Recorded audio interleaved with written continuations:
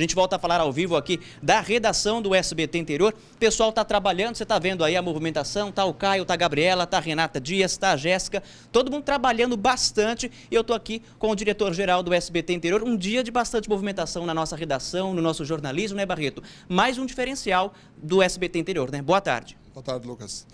É verdade.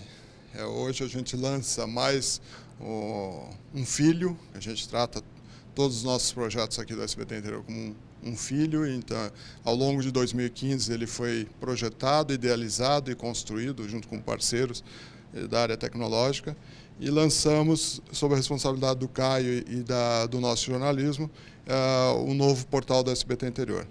O objetivo desse portal é ampliar a nossa programação uma, a principal estra, estratégia do SBT Interior é, é, fortalecer sua programação local e o portal vem com ah, essa missão de auxiliar nisso. Então, é a programação do SBT Interior, além de toda a programação da rede, é você ter essa programação disponível 24 horas através do novo portal. Além disso, ampliar também, ser mais uma opção de informação para o nosso consumidor, para o nosso telespectador, hoje na TV, a partir de hoje também, através do nosso portal, de informações sobre o Estado, sobre o país e informações eh, relevantes do mundo que tenham interesse da, da população e que tenham a ver ou não conosco, mas esse, o nosso público estar bem informado.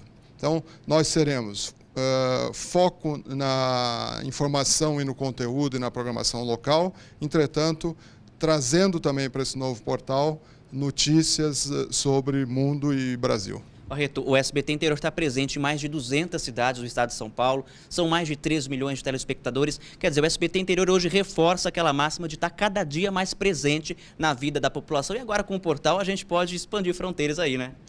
Exato. São 202 cidades na nossa área de cobertura, é uma responsabilidade tremenda, é, é um desafio para nós no, no, nosso dia a dia, estar tá inserindo essas pessoas, né, né, trazendo a informação de cada uma dessas cidades, esse é um desafio nosso do jornalismo e da, do, dos programas de entretenimento.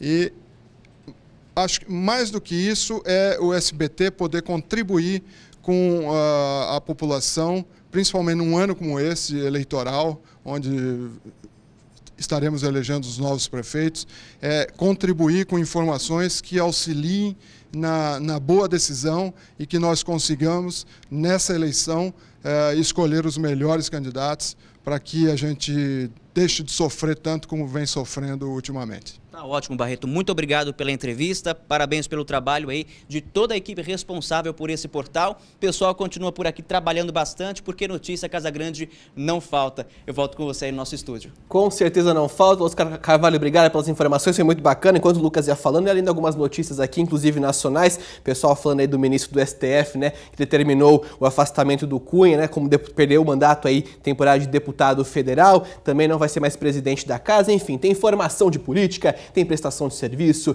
tem dicas de cultura e lazer, enfim, tudo que acontece não só no estado de São Paulo, como também no Brasil e no mundo, você acompanha no nosso portal. Então, parabéns a toda a equipe, obrigado pelas informações. Daqui a pouco o Lucas volta lá da redação com outras notícias aqui da nossa região. Obrigado por enquanto, Lucas.